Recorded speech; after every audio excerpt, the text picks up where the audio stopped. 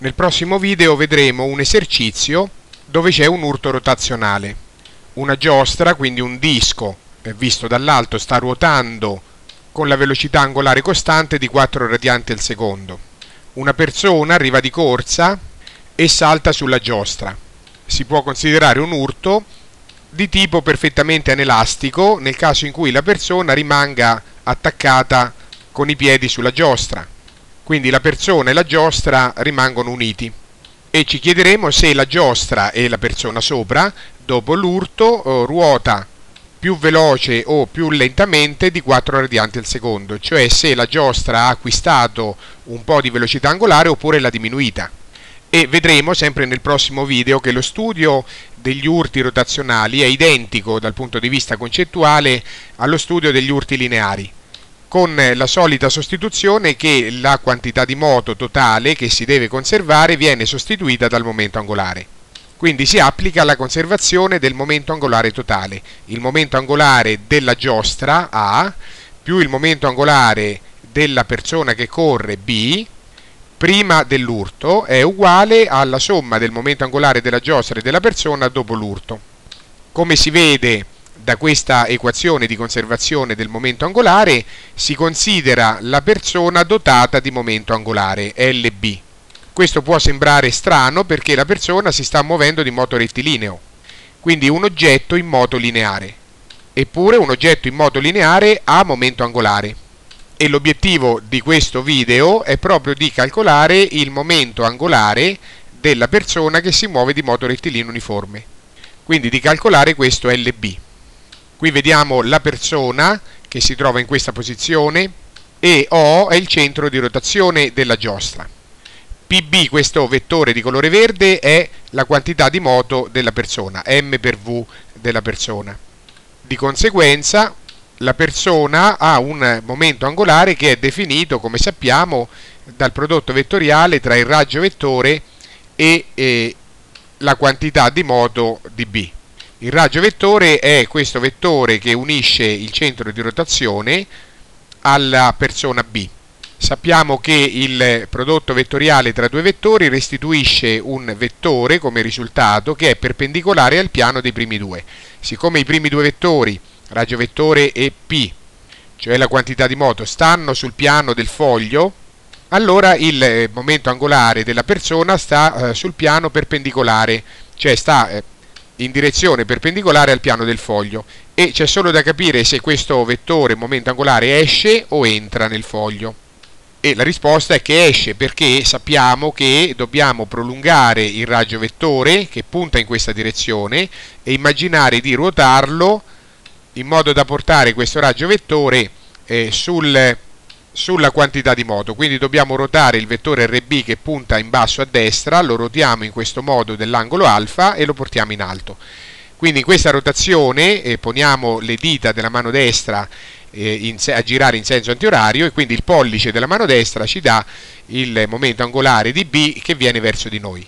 Ora che sappiamo direzione e verso del momento angolare lo andiamo a calcolare eh, moltiplicando i due moduli RB per PB per il seno dell'angolo che formano questi due vettori. E l'angolo è l'angolo alfa, il vettore RB punta in questa direzione, PB in quest'altra e tra di loro c'è l'angolo alfa. Quindi il modulo del momento angolare di B è RB sen alfa per PB. Ma RB sen alfa lo possiamo anche scrivere come RB seno di π greco meno alfa cioè andiamo ad individuare l'angolo che è il supplementare di alfa, è questo angolo qua. E sappiamo anche che angoli supplementari hanno lo stesso valore di seno. Quindi al posto di seno di alfa, cioè il seno di questo angolo, scriviamo il seno di π meno alfa perché ha lo stesso valore. Ma RB seno di π meno alfa è eh, la moltiplicazione tra l'ipotenusa di questo triangolo rettangolo e il seno di questo angolo e quindi moltiplicando l'ipotenusa per il seno dell'angolo troviamo il cateto opposto. Quindi troviamo questo segmento che rappresenta in pratica la distanza che c'è tra il centro di rotazione della giostra e la retta che sta percorrendo la persona. Questo segmento, anzi questa distanza, si chiama parametro d'urto o parametro d'impatto e rappresenta eh, la minima distanza alla quale la persona passa dal centro della giostra. Come caso particolare, se la persona fosse diretta esattamente verso il centro della giostra, il parametro d'urto sarebbe 0. Quindi fino adesso abbiamo visto che il momento angolare della persona è un vettore che viene verso di noi e ha come valore, il, come valore numerico il prodotto tra il parametro d'impatto o parametro d'urto B e la quantità di moto PB. Ora immaginiamo che la persona, anziché eh, saltare sulla giostra, prosegua di moto rettilineo uniforme e eh, dopo un po' di tempo sarà arrivata in questo punto. Andiamo a calcolare nuovamente il suo momento angolare. La formula è sempre la stessa di prima, il vettore di nuovo esce verso di noi perché R stavolta punta in questa direzione, quindi verso l'alto a destra, PB punta in alto e se noi immaginiamo di prendere il vettore RB e di ruotarlo in senso eh, antiorario verso PB, appunto è una rotazione antioraria e con la prima regola della mano destra eh, viene fuori eh, il momento angolare verso di noi. Il modulo di questo momento angolare nella nuova posizione della persona, quindi quassù, la calcolo sempre come prima, quindi modulo, modulo, seno dell'angolo fra i due vettori.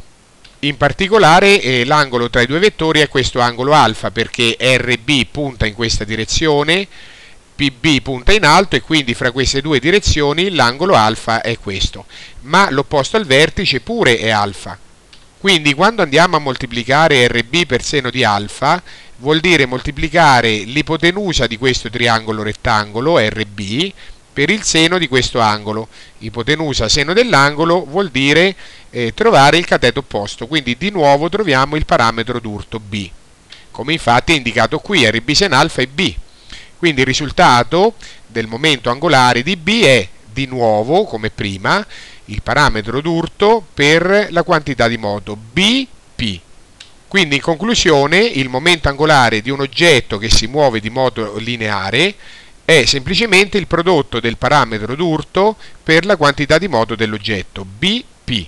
E questo ricorda molto il, il, momento torcente di una forza. Qui non ci sono forze, però eh, questa formula del momento torcente di una forza è molto simile e analoga a quella della, del momento angolare. Infatti il momento torcente, il momento di una forza, eh, sappiamo che si calcola braccio per forza. Nel caso invece del momento angolare abbiamo una specie di braccio per quantità di moto. Quella specie di braccio è il parametro d'urto, cioè la minima distanza alla quale passa l'oggetto in moto lineare rispetto al centro di rotazione. Dunque, come il braccio della forza nel caso del momento torcente, nel caso del momento angolare abbiamo che il parametro d'urto è una specie di braccio della quantità di moto. Quindi il braccio della quantità di moto, cioè il parametro d'urto per la quantità di moto, ci dà il momento angolare di un oggetto in moto lineare.